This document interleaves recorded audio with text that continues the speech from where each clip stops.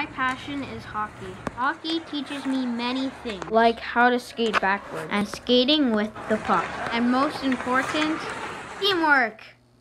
My dad started taking me to hockey lessons when I was two years old. When I first started playing hockey, I was really bad.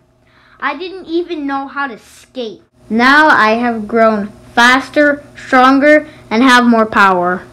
Hockey has many benefits for kids.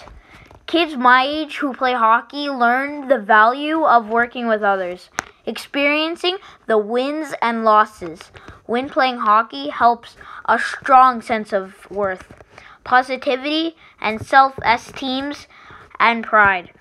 These are all good for life experience. Physical benefits of hockey are endurance, strength, balance, coordination, and agility.